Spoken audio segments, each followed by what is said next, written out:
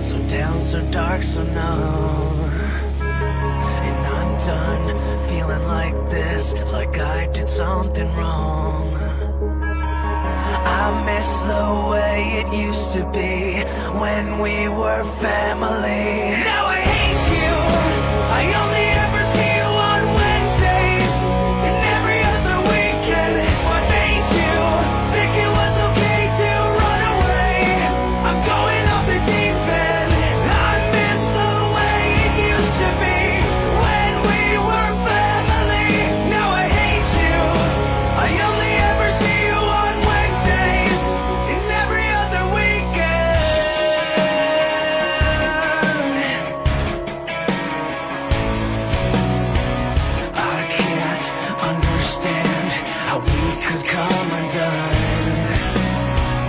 Is love really that bad?